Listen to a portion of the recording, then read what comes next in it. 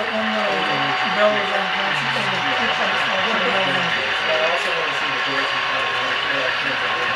what happens with the wood on. The horn, when you blow the horn.